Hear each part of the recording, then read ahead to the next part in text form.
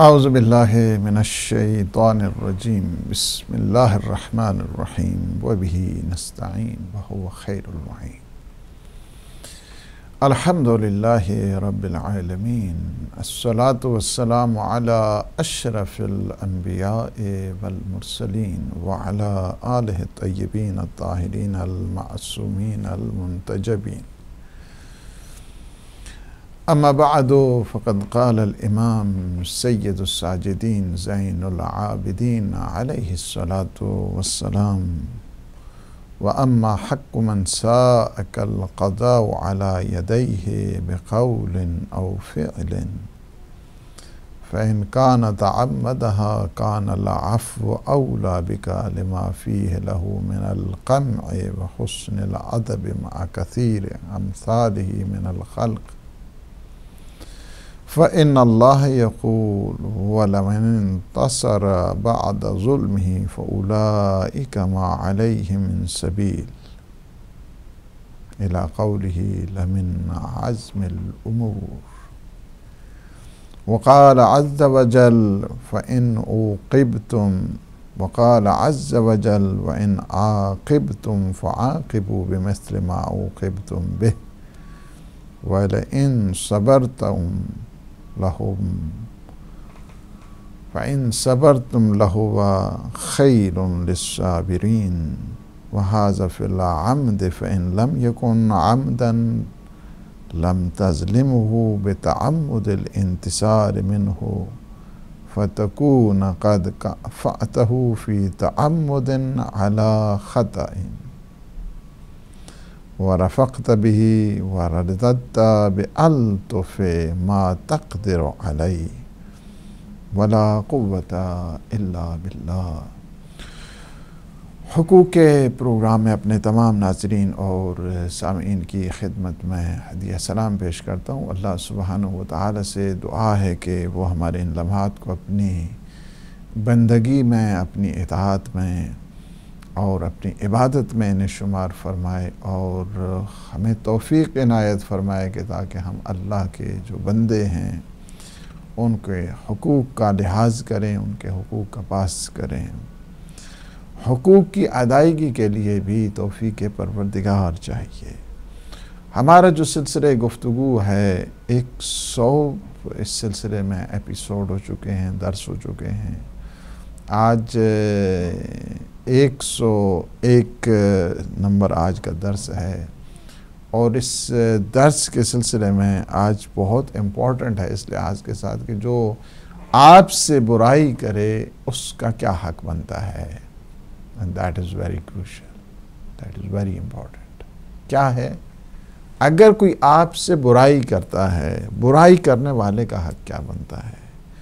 امام علیہ السلام والسلام نے یہاں پہ وضاحت فرمائی کہ اگر کوئی آپ سے برائی کرے وہ اما من و اما حق من سا یعنی جو شخص آپ کے ساتھ برائی کرتا ہے، قولی لحاظ کے ساتھ برائی کرتا ہے، فعلی لحاظ کے ساتھ برائی کرتا ہے یعنی اپنے عمل کے ساتھ برائی کر رہا ہے یا اپنی زبان کے ساتھ برائی کر رہا ہے، تہمت لگا رہا ہے گالیاں دے رہا ہے، فوش اور دشنام دے رہا ہے، یا مثلا الزام تراشی کر رہا ہے، یہ ساری کی ساریاں برائیاں ہیں۔ اگر کوئی اس قسم کی برائی میں مبتلا ہو جائے، زبانی اعتبار کے ساتھ، کلامی اعتبار کے ساتھ، یا پھر وہ ہے کہ اپنے عمل کے ذریعے برائی کرتا ہے۔ ٹھیک ہے؟ تو کیا کرنا چاہیے؟ یہ دیکھنا چاہیے کہ وہ جو برائی کر رہا ہے، کیا وہ جان بوجھ کے برائی کر رہا ہے یا جان بوجھ کے برائی نہیں کر رہا ہے؟ انٹینشلی کر رہا ہے یا جو ہے نا وداؤٹ انٹینشنز جو ہے نا وہ یہ کام انجام دے رہا ہے؟ ڈیلیبریٹلی کر رہا ہے، کیا وہ صحوی طور پہ کر رہا ہے؟ امام علیہ السلام والسلام فرماتے ہیں کہ اگر اس نے ڈیلیبریٹلی یا مثلا انٹینشنلی اس نے تمہارے ساتھ برائی کی ہے، تو پہلی چیز یہ ہے کہ اسے تم درگزر کرو۔ پہلی چیز ہے کہ تم اسے معاف کر دو۔ یعنی یہ پہلی چیز امام علیہ السلام والسلام بتاتے ہیں۔ چونکہ جب آپ معاف کریں گے تو جو قدورت کی جڑ ہے وہ کٹ جائے گی۔ پہلی چیز کیا ہے کہ تم اسے معاف کر دو اور خلق خدا میں جس طرح جو ہے نا وہ یہ فَإِن كَانَ تَعَمَّدَهَا كَانَ الْعَفْوُ أَوْلَى بِكَ لِمَا فِيهِ لَهُ مِنَ الْقَمِ وحسن العدب مع کثیر امثالہ من الخلق۔ اور خلق خدا میں اس جیسے بہت سے لوگوں کے ساتھ شائستہ طور سے پیش آؤ۔ امام علیہ السلام سفارش کرتے ہیں۔ اور فرماتے ہیں، یہ اس کے بعد اس آیت کو کوٹ کیا کہ اللہ سبحانہ و تعالی نے فرمایا کہ وَلِمَنٍ تَن وَلِمَنٍ تَسْرَ بَعْدَ ظُلْمِهِ فَأُولَائِكَ مَا عَلَيْهِ مِن سَبِيل۔ یعنی کیا ہے کہ جس نے اپنے اوپر ظلم کے بعد انتقام لیا ہے تو اس پر کوئی الزام نہیں ہوگا۔ الزام نہیں ہے۔ وہ چل، پھر اللہ سبحانہ و تعالیٰ نے فرمایا کہ فَأُولَائِكَ مَا عَلَيْهِ مِن سَبِيل۔ اور پھر آخر میں کیا من عزم الامور یہاں تک یہ ہے کہ یہ تو بات ٹھیک ہے، اگر اس نے ظلم کیا ہے اور اسی مقدار میں جس حد تک آپ پہ ظلم ہوا ہے، اس سے بدلہ لیا جا سکتا ہے اور اس میں کوئی، اس انتقام میں کوئی مذائقہ بھی نہیں ہے، الزام بھی اس پہ نہیں لیا جا سکتا۔ اور پھر یہ ہے کہ اسے سزا دو، فَإِن عَاقِبْتُمْ فَعَاقِبُوا بِمِثْلِ مَا عُوقِبْتُمْ۔ یعنی اگر کیا ہے کہ اس نے کچھ اس قسم کی اگر تم نے سزا بھی دینی ہے، تو اتنی ہی اسے سزا دی جائے کہ جتنا اس نے تم پہ ظلم کیا ہے۔ نہ یہ ہے کہ اس میں افراد ہوتا ہے، اس میں افراد نہیں آنا چاہیے۔ لیکن ساتھ ساتھ یہ فرمائے بلا ان صبر تم اگر تم صبر کرو گے تو صبر کیا ہے، یہ بہت بہت ہی بہتر ہے، بہت زیادہ بہتر ہے۔ پہلی چیز تو یہ نہیں یہ بتا دی کہ اگر کوئی شخص آپ پہ برائی کرتا ہے، آپ سے برائی کر رہا ہے، آپ کے مقابلے میں شر لے کر آ رہا ہے اور وہ شر اس کے قولی لحاظ کے ساتھ ہے، فعلی لحاظ کے ساتھ ہے، اپنی زبان کے ذریعے، اپنے کلام کے ذریعے، اپنے عمل کے ذریعے آپ سے زیادتی کر رہا ہے اور آپ پہ خلاف ظلم کر رہا ہے اور جبر کر رہا ہے اور پھر یہ ہے کہ برائی کر رہا ہے، پہلی چیز یہ ہے کہ اسے معاف کرو۔ لیکن اگر تم نے بدلہ لینا ہی ہے، انتقام لینا ہی ہے، تو پھر جو سیکوینس ہے، اس کو برقرار رکھو۔ جو اماؤنٹ ہے، اس کو تم جو ہے نا برقرار رکھو۔ جس حد تک اس نے زیادتی کی، اسی حد تک جو ہے نا وہ زیادتی ہونی چاہیے۔ اس میں جو ہے نا وہ افراد نہیں آنا چاہیے۔ لیکن اس کے بعد کیا ہے کہ اللہ سبحانہ و تعالیٰ نے فرما دیا کہ بہتر یہی ہے کہ وَلَئِن صبر تم اگر تم اس بات پہ صبر کرو گے تو کیا ہے کہ وہ خیر للصابرین۔ یہ صابرین کے لیے ایک بہت بڑا عجر ہے اور صابرین کے لیے ایک بہت خیر و خوبی کا باعث ہے۔ دوسرا کیا ہے؟ لیکن اگر اس نے جان بوجھ کر برائی نہیں کی ہے، اگر جان بوجھ کر بدی نہیں کی ہے، پھر کیا ہے؟ تو ہمیں چاہیے کہ اس پہ ظلم نہ کرو۔ اس نے جان بوجھ کے تو نہیں کیا ہے، اس نے ڈیلیبریٹلی تو نہیں کیا ہے، اس کی تو انٹینشن نہیں تھی، لیکن صاحبی طور پر، عمدی طور پر اسے برائی نہیں ہوئی ہے، بلکہ صحون ہو گئی ہے۔ اگر صحون ہو گئی ہے، تو تمہیں چاہیے کہ اس پہ ظلم نہ کرو۔ اور اگر تم نے جان بوجھ کر اس کے ساتھ یعنی بدی کرو گے، تو تم خطا کار جو ہے نا، تمہارے شمار خطا کاروں میں سے ہوگا۔ تم خطا کار پاؤ گے۔ تو پھر اس کے بعد امام علیہ السلام فرماتے ہیں کہ دیکھو تم اپنی یعنی اس کے ساتھ تم نرمی کے ساتھ پیش آؤ، بہت لینینٹ وے میں تم جو ہے اس کے ساتھ پیش آؤ۔ اور اس کے ساتھ بڑے محبت، آمیز انداز کے ساتھ سلوک کرو۔ اس کے ساتھ کہ جس نے تمہارے ساتھ زیادتی ہو گئی ہے، لیکن وہ چاہتا نہیں تھا۔ برائی ہو گئی ہے مگر وہ چاہتا نہیں تھا، بدی ہو گئی ہے مگر وہ چاہتا نہیں تھا۔ سہون اس سے ہو گئی ہے، اشتباہ ہو گیا ہے مسٹیک ہو گئی ہے اس سے۔ جب اس سے مسٹیک ہو گئی ہے سہون یہ عمل سر انجام پایا ہے، جان بوجھ کر نہیں عمل یہ ہوا۔ تو تمہیں چاہیے کہ کیا ہے کہ اس کے ساتھ زیادتی نہ کرو۔ تم جان بوجھ کے اس پہ ظلم نہ کرو۔ اگر تم نے ظلم کیا تو تمہارے شمار کیا ہیں؟ خطا کاروں میں سے ہوگا، تمہارا شمار زیادتی کرنے والوں میں سے ہوگا۔ لہٰذا کیا کرو ایسی صورتحال میں؟ اس کے ساتھ جو ہے نا پلائٹ وے میں تم اس سے اس سے بات کرو۔ اس کے ساتھ بڑے جو ہے نا وہ محبت آمیز لہجے میں اس کے ساتھ بات کرو، سلوک کرو۔ تمہارا سلوک اس کے ساتھ ایسا ہونا چاہیے۔ یہاں پہ بات یہ ہے کہ امام علیہ السلاۃ والسلام نے، دیکھیں یہاں پہ دو چیزیں جو ہے نا وہ بڑی امپورٹنٹ ہیں۔ یعنی اس کا خلاصہ یہ ہے کہ اگر کسی نے آپ کے ساتھ جسارت کی ہے یا بدتمیزی کی ہے یا ڈس ریسپیکٹ کی ہے ڈس آنر کی ہے، یا اس کی جو ایٹیکیٹ ہے بہت ہی جو ہے نا وہ بیڈ ایٹیکیٹ کے ساتھ آپ کے ساتھ جو ہے نا وہ پیش آیا ہے۔ تو پہلے تمہیں انالیسز کرنی چاہیے۔ وہ انالیسز یہ ہے، کیا اس نے جان بوجھ کے کیا ہے؟ یا نہیں، اس سے صاحبن ہو گیا ہے، اشتباہ ہو گیا ہے بھائی مسٹیک ہو گیا ہے۔ تو اگر اس سے جان بوجھ، اس نے جان بوجھ کر کیا ہے، جان بوجھ کے اگر اس نے بدتمیزی کی ہے، جسارت کی ہے، تو اس کا کیا ہے؟ اس کا طریقہ کار یہ ہے کہ پہلی چیز اسے معاف کر دیا جائے۔ لیکن معاف ہر ایک کو اس سے پہلے ہماری گفتگو ہو چکی ہے کہ ہر ایک معافی کے قابل نہیں ہوتا ہے۔ چونکہ بعض کیا ہے کہ معافی کو جسارت جو ہے نا، اس اس معافی کے بعد جسور ہو جاتے ہیں۔ معافی کے بعد گستاخ ہو جایا کرتے ہیں۔ معافی کے بعد اور زیادہ بد اخلاق ہو جایا کرتے ہیں۔ ایسی شخص کے لیے معافی نہیں ہے۔ کہ جو معافی ہے کیا ہے، اس سے وہ غلط فائدہ اٹھائے۔ بعض ایسے ہیں کہ انہیں اگر معاف کر دیے ہاں معاف نہ کرے نا، پھر پتہ چل لیا اس نے کن کی جانا پھر ساڑھا بھی تو جاننا ہے، کس طرح ہونا اس قسم کے بعض جسور ہو جاتے ہیں، بعض گستاخ ہو جاتے ہیں۔ بجائے اس کی کہ اپریشیٹ کریں، یہ ہمیشہ جو خفیف لوگ ہوتے ہیں، وہ یہ کام کرتے ہیں۔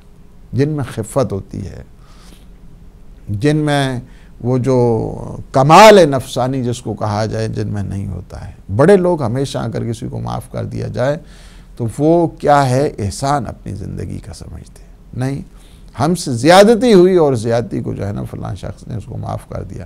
تذکرہ کرتے ہیں، اس کو اپریشیٹ کرتے ہیں اور اس کو اویل کیا کرتے ہیں اور دوسروں کے سامنے اس کا اظہار کیا کرتے ہیں۔ لیکن وہ لوگ کہ جو یعنی فرومایہ قسم کے لوگ ہیں، جو یعنی جن کو پست قسم کے جو افراد ہوا کرتے ہیں، جن پست، وہی افراد اس کا مطلب یہ نہیں ہوتے قد بدھ کے ساتھ یعنی فطرت کے ساتھ، اس کی اخلاقیات کے ساتھ، اس کے طور اور اتوار کے ساتھ، اگر اس کے ساتھ یہ کیا جائے کہ نہیں، اس کو معافی کہتے وہ کیا ہے؟ اکڑ جاتے ہیں، اس کے بعد کہتے ہیں ہاں پھر سب کے سامنے اظہار کرتے ہیں دیکھا دیکھیا نہ کر، بدلہ لے ویا پھر ویکھیا اس میں سے کہ کرنا۔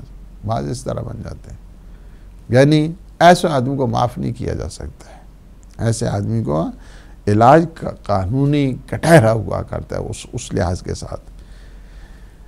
پہلی چیز یہ ہے کہ اگر جان بوجھ کے کیا ہے تو اسے معاف کر دو۔ اگر وہ معافی کے قابل ہے تو۔ دوسری بات یہ ہے کہ اگر وہ اس نے، اس سے غیر عمدی وہ فعل جو ہے نا، وہ برائی سرزد ہو گئی ہے اور بدی سرزد ہو گئی ہے۔ بائی مسٹیک ایسا اگر ہو گیا ہے تو اس کو لطف اور مہربانی کے ساتھ اسے معاف کر دینا چاہیے۔ امام علیہ السلام نے یہاں پہ افو در گزر کی حقیقت میں جو ہے نا وہ دعوت دی ہے۔ اس وجہ سے کہ اگر ہر ایک شخص ریونج کے اوپر آ جائے اور ہر ایک شخص، کون سا دنیا میں ایسا فرد ہے کہ جس سے غلطی نہیں ہوتی جس سے اشتباہ نہیں ہوتا کوئی معصوم تو نہیں بیٹھے ہیں سارے۔ خلقت جہان، عربوں کے تعداد میں یہ لوگ سارے کے سارے معصوم تھوڑے ہیں۔ ان سے غلطیاں ہوتی ہیں، ان سے اشتباہ ہوتا ہے، ان سے مسٹیک ہوتی ہے۔ بعض اوقات وہ مسٹیک جان بوجھ کے کر دیتے ہیں، بعض اوقات وہ مسٹیک جو ہے نا وہ صحفن اور جو ہے نا وہ ان کی کوئی اس میں انٹینشن بھی نہیں ہوا کرتی ہے غلطی ہو گئی ہے۔ اور یہ لوگ بہت سارے ہیں اس قسم کے۔ ہر ایک تقریباً جو ہے نا، اشتباہات اس اس سے سرزاد ہوتے رہتے ہیں۔ اگر ہر آدمی یہ طے کر لے، ہر آدمی، بس اس کو یہ طے ہو جانا چاہیے کہ اس نے انتقام لینا ہے۔ تو یہ دنیا تھوڑی ہے، یہ دنیا تو انتقام گاہ بن جائے۔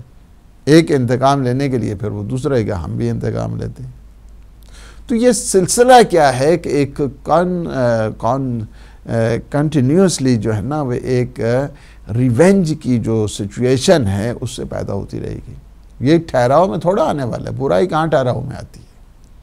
آپ نے انتقام لیا ہے، وہ دوسرا پھر کہے گا، ہم انتقام لیں گے۔ تیسرے گئے پھر ہم انتقام لیں گے۔ چوتھے گئے پھر ہم انتقام لیں گے۔ تو دنیا انتقام گاہ بن گئی۔ زمانے جاہلیت میں اسی قسم کی چیزیں کی جسے حضور اکرم صلی اللہ علیہ وآلہ وسلم نے ختم کیا ہے۔ چالیس چالیس سال ایک ایک جو ہے نا وہ معمولی معمولی چیز پہ بدلے لیے جاتے تھے، قتل کیے جاتے تھے، غارت کیے جاتے تھے۔ یہ یہ پیغمبر اسلام صلی اللہ علیہ وآلہ وسلم کا صدقہ کہ جنہوں نے ہر قسم کی اس جو ٹیرورسٹ ایکٹیویٹیز ہیں، جاہلیت کے ساتھ، چونکہ جتنی یہ دہشت ہے، جتنی یہ جو آج کل آپ دیکھ رہے ہیں کہ اسلاموفوبیا کے مسائل ہیں یہ اسلاموفوبیا بھی اسی لیے ہے۔ لوگوں کو ڈرانے کے لیے ہے۔ ایرانوفوبیا ہو، اسلاموفوبیا ہو۔ جی یا مثلا دین کے سلسلے میں فوبیا کر دیا جائے، یا مثلا یہ جو آج کل آپ دیکھ رہے ہیں کہ یہ تکفیری کہ چونکہ ان کا کام یہی تھا، تکفیری اس لیے بنائے گئے تھے تاکہ اسلام کی جو ایک پروگریشن ہو رہی ہے اور ایک شوق شہادت پیدا ہو رہا ہے اور مسلمانوں میں جذبہ شہادت ہے، جذبہ شہادت کو مٹانے کے لیے، جذبہ جہاد کو تاراج کرنے کے لیے اس وجہ سے افراد کو تیار کیا گیا۔ یہ تکفیری نسل وہی ہے، کوئی نئی چیز نہیں ہے۔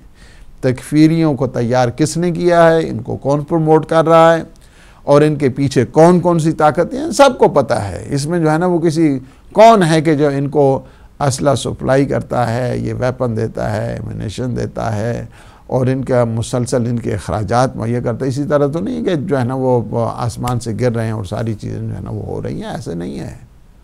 کس کو نہیں پتہ ہے اس چیز کا کہ ان کو سارے یہ جو ساری ان کی کیٹرنگ ہوتی ہے فیڈنگ ہوتی ہے، انہیں فیڈ کیا جاتا ہے کون ہیں، کون سے افراد، کون سی طاقتیں۔ صحیح بات یہ ہے کہ ان کو بنایا گیا۔ تاکہ مسلمانوں کی جو ترقی ہے، تعالی ہے، اس کو مٹایا جائے۔ جذبہ شہادت کو، جذبہ جہاد کو منہدم کر دیا جائے۔ جذبہ شہادت کو بالکل جو ہے نا کہا جائے، یہ دیکھو جی تکفیری وہ آ رہے ہیں۔ آج آپ نے دیکھا کتنی بڑی جو کوئٹہ میں ظلم اور بربریت ہوئی ہے۔ اتنی بڑی ظلم اور بربریت کے جہاں پہ آپ دیکھیں کہ ہاسپیٹل ہے، وہاں پہ لوگ ہیں، وہاں پہ افراد ہیں، کوئی ملاقاتی ہے، کوئی مریض ہیں۔ وہاں تو حکم تو یہ ہے کہ اس اس روڈ کے اوپر کے جہاں پہ بڑے بڑے مریض پڑے ہیں، بعض مریض جو ہے نا وہ انٹینسو کیئر میں ہیں، بعض مریض ہیں کہ وہاں پہ تو حکم تو یہی ہے کہ وہاں پہ اگر آپ سائرن ہے وہ نہیں بجا سکتے۔ وہاں پہ اس قسم کی ایکٹیویٹیز نہیں ہونی چاہیے جن کو مریض ان کی مرض میں شدت واقع ہو جائے۔ بلکہ مریض کو سکون چاہیے ہوتا ہے، آرام چاہیے ہوتا ہے۔ لیکن کیا ہے کہ انہوں نے کیا کر دیا ہے؟ انہوں نے نہ دین دیکھا، نہ تدین دیکھا، نہ انسانیت دیکھی۔ اور انہوں نے دن دہاڑے اور وہ بھی ہاسپیٹل کے سامنے انہوں نے بے گناہ افراد کو جو ہے وہ آپ نے دیکھا کہ کتنی شہادتیں ہو گئیں۔ سو کے قریب شہادتیں ہو رہی۔ یہ کیا چیز ہے؟ یہ اسی وجہ سے اسلام اگر یہ حکم دیتا ہے، اسلام قطن اس چیز کا نہیں۔ یہ اسلام، یہ مسلمان تھوڑے ہیں اس قسم کے کام کرنے والے۔ انہیں مسلمان مگر کا، انہیں کہ مسلمان کہنا جرم ہے، انہیں مسلمان کہنا گناہ ہے۔ اسلام تو سلامتی کا مذہب ہے، اسلام تو سلو کا مذہب ہے۔ اسلام تو پیار اور محبت اور اخوت کا مذہب ہے۔ اسلام تھوڑا ہے کہ کہا جائے کہ ہاں جی جتنے بے گناہ ہیں، ان کو، ان کا خون کر دیا جائے۔ ہاں تمہارا عقیدہ نہیں بھی ہے، ان کے ساتھ ملتا۔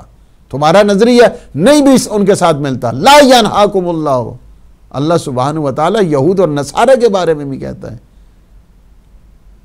کہ جو تمہارے ساتھ جنگ نہیں کرتے ہیں، یہودی ہیں یا نصرانی ہیں، ان کے ساتھ بھی تم بر کرو، تم نیکی کرو، ان کے ساتھ، عدالت کے ساتھ تم پیش آ جاؤ۔ چر رسد کہ مسلمان اور وہاں پہ ان کا خون کر دیا جاؤ اور پھر ایسے موقع میں انہیں مسجدیں دیکھتے ہیں، یہ ہر وہ جگہ کہ جہاں پہ ہجوم ہو، جہاں پہ انسانیت ہو، مساجد کو دیکھیں، وہاں پہ یہ، وہاں پہ یہ سوسائڈل جو ہے اٹیک کرتے ہیں۔ امام بارگاہ کو دیکھیں۔ وہاں پہ دیکھیں کہ جہاں لوگوں کو جو پرامن جگہ ہے، جہاں پہ ہاسپیٹل وہاں پہ جا کے جو ہے نہیں یہ مسلمان ہیں۔ انہیں کون کہتا ہے یہ مسلمان؟ ہے ان کا کسی دین اور کسی مکتب کے ساتھ ان کا کوئی ربط نہیں ہے اور ہم جس طرح پہلے بھی یہ انہی دہائیوں کی ایک اکائی ہے اور ہم کہہ رہے ہیں، ہم اس آج کے اس واقعے کی کہ جو کوئٹہ میں پیش آیا ہے اور تکفیریوں کے ہاتھوں سے پیش آیا ہے، ہم ہدایت کی طرف سے اس کی پرزور طریقے سے جہاز اس کو کنڈم کرتے ہیں، اس کو اس کی مذمت کرتے ہیں اور وہاں کے جو سیکیورٹیز ادارے ہیں، ان سے یہ اپیل کرتے ہیں کہ خدا را اپنے، وہ حکومت وہی ہوا کرتی ہے کہ جو اپنے شہریوں کا، اپنے سویلین کا تحفظ کیا جاتا ہے، تحفظ کر سکتی ہے، اسے، اس کو کہتے ہیں حکومت۔ یعنی یہ کوئی طریقہ نہیں ہے کہ ادھر سے ظلم اور ادھر سے جبر اور پھر ایک ہی وہ قوم کی جو آپ کو یعنی کتنے یہ کوئٹہ کے حالات کس قدر سنگین اور کس قدر علمناک اور کربناک کر دیے گئے۔ سینکڑوں جنازے جو ہے نا، روک روک کے بیٹھے رہے۔ لیکن ابھی تک ان جو سیکیورٹی ادارے ہیں، ان کو، ان کی جو ہے نا، انہیں انہیں کوئی خبر ہی نہیں۔ اسلام الفت کا مذہب ہے، محبت کا مذہب ہے۔ اسلام رحم کا مذہب ہے۔ اسلام ترحم کا مذہب ہے۔ اسلام سلو آشتی کا مذہب ہے۔ اسلام تعاون کا مذہب ہے۔ اسلام چاہتا ہے ایک دوسرے کے ساتھ جو ہے نا تم مدد کرو ایک دوسرے کے ساتھ، تعاون کی کرو۔ یہ وہ وہ کے فاج کا جو یہ بہت ہی زیادہ کربناک واقعہ ہوا ہے اور ایک بہت زیادہ افسوسناک واقعہ ہے۔